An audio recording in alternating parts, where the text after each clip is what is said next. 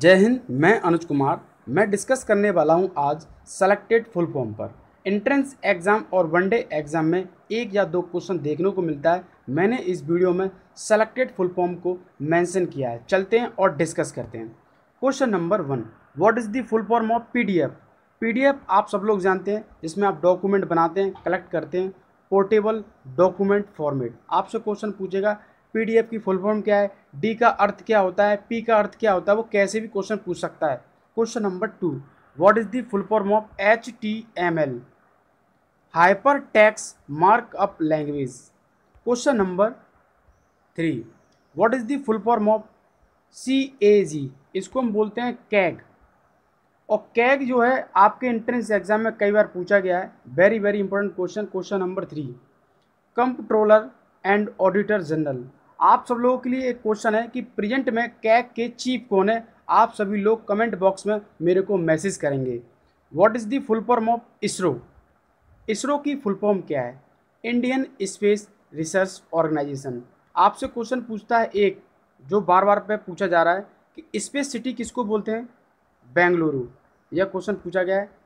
Question number five what is the full form of SAARC SAARC ये fish नहीं है। SAARC एक organisation है। आप लोग समझेंगे ये फ़िश का नेम है। ये एक ऑर्गेनाइजेशन है। इसकी फुल फॉर्म है South Asian Association for Regional Corporation. आपसे एक और क्वेश्चन पूछा जाता है कि प्रेजेंट में सार्क के कितने मेंबर हैं? सदस्य हैं? Answer is eight. ये क्वेश्चन फिक्स है, आपके एंट्रेंस एग्ज़ाम में। Question number six. What is the full form of U R L U R L आप सब लोग जानते हैं, एक बनता है। Uniform resource locator question number seven what is the full form of I C U I C U क्या होता है? Intensive care unit I C U की अगर हम बात करते हैं, आपने हॉस्पिटल में देखा होगा, एक स्पेशल वार्ड होता है।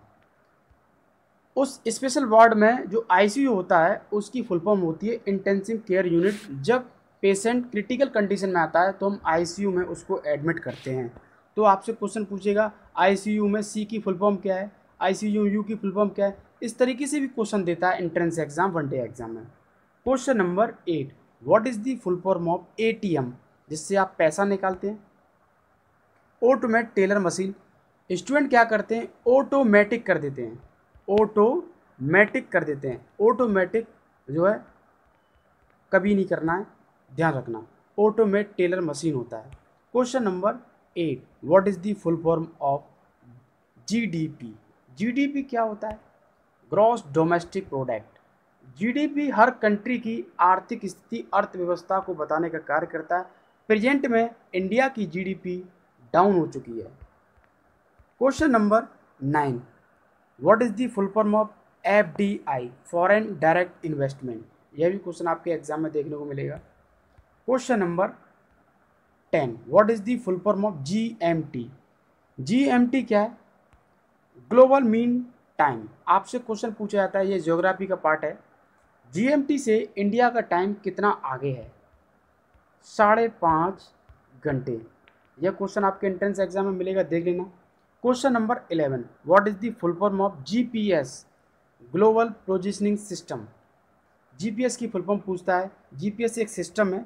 Global positioning system question number twelve what is the full form of G S T goods and service tax सब लोग जानते हैं। गलती कहाँ होती है? आपको बता देता हूँ। स्टूडेंट जो है गुड पर टिक करके आते हैं। गुड नहीं होता है गुड्स होता है।